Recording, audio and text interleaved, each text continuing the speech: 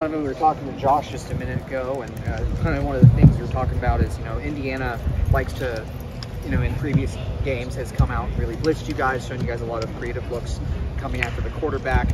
When you have a new offensive line, you know, three fresh faces, how can it help develop chemistry to maybe see some of those creative blitzes right off the bat? Yeah, so um, uh, going off what Josh said, uh, Indiana, um, they're known to throw a couple different fronts at you. They may, they go three, four, five. Uh, they may even throw six on there, but um, it's uh, our job to pick it up, and as, as a, that's where it comes to practice and film.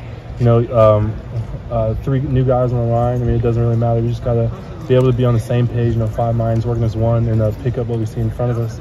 So um, uh, days like today, and especially uh, going back on it and watching film, are very important to make sure you're you're up on your your studies. So like the when when the physical part ends, when the practice ends, and the mental part just restarts all over again. And so uh, we're no, we're, we're, excited for the game. You know, it's a great opportunity to show what we've been working on over the summer. So we just got to know, uh, you know, work as one unit and get after it. How, how's the communication developed across the line in terms of picking up those things as camp is rolling along here? Uh, no, we're, we're still progressing every day. You know, uh, not, nothing's perfect, but uh, we're just trying to get better every day. Um, try to reach the goal that we're trying to attain, just being a you know five minds working as one, and uh, see where that takes us. I, someone I wanted to ask about on the defensive side, uh, Mike Hall, just how is he, at what level has he been at at the end of camp here, and, and how have you seen him progress? Uh, Mike is clicking on all cylinders right now. You know, um, uh, we, we, work um, during like one-on-one periods and stuff like that. We we try to uh, give give each other keys. Like, okay, so this is what I'm looking for as a D lineman. So this is what I'm looking for as an O lineman. So when we go against somebody who's not us, we're able to excel at a high level. So, you know, Mike has been a a great resource as O lineman at least to let us in on what the D linemen are looking for in terms of getting us off our spot, or we let we let the D line know vice versa. Like, okay, if you do this, we're going to shoot here and make you run the loop after that. Go back to what he was asking about Indiana being kind of aggressive. Did you guys look at that 2020 film at all this week, where they came out and were bringing a lot of blitzes from a lot of different places and gave that line and Justin a lot of trouble? Yeah, you know, um, uh, you know, Indiana gives us a lot of a lot of uh, fronts, a lot of movement. Um, they bring guys from everywhere. But at the end of the day, if we uh, work our technique and we uh, stay on our feet, um, we'll be in a position to succeed at, at uh, that level.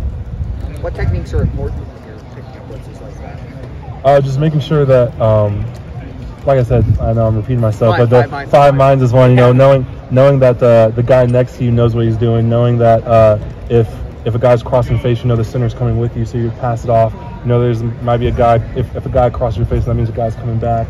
You know, um, uh, they they run a lot of uh, different stunts and blitzes, so making sure that we're on our film to know what, what's coming, and uh, just you know putting it all on the field.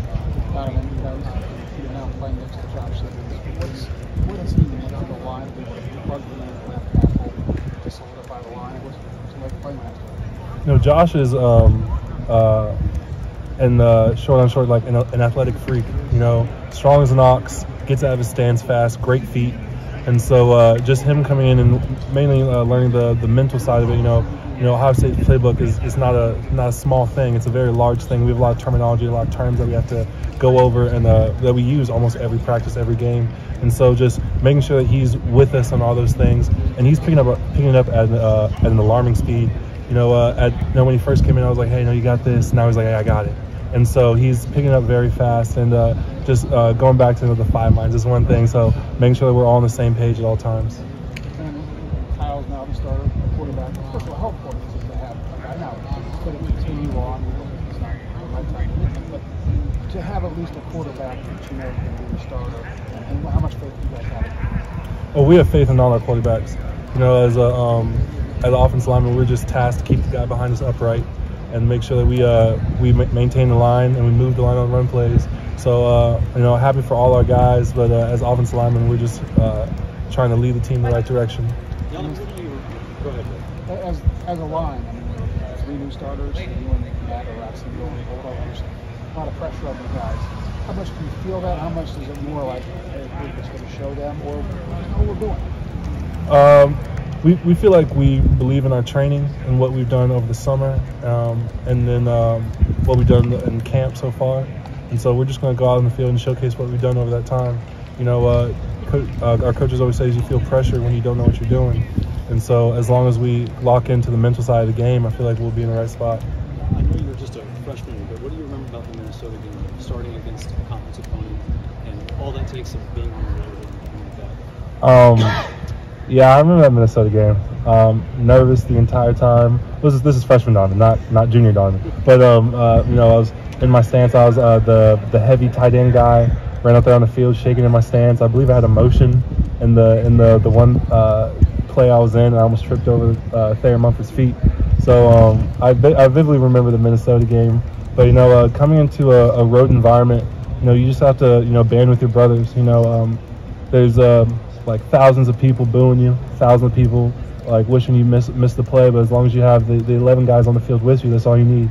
As junior Donovan, what do you communicate to the guys that are going to be nervous and haven't been in that environment before? Maybe it's their first start. Yeah, I, I just tell them that um, you've seen the worst there is in practices. You know, uh, like I was saying, working with our D line, you know, they're uh, exceptionally talented. You know, they gives us they give us looks that we might not see in the game that we're about to play. So I say, you've you've gone through the hardest already. Now you just have to play in the game and showcase your abilities. And um, it's it's uh, something that I took a while to register. You know, I had older guys, you know, Paris, um, Dawand, Luke. They told me the same thing. Matt, they, they told me the same thing that I'm telling these guys right now and it's just uh, you know having confidence in yourself. So you play fast, you play strong, you play you know to the level that you are you know blessed to be at. Do you like opening the season with a Big Ten game?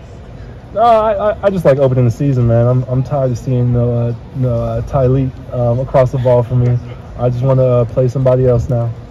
Donovan, earlier Last this month, questions. you were saying you guys were starting to defog everything up front. Things were starting to settle in.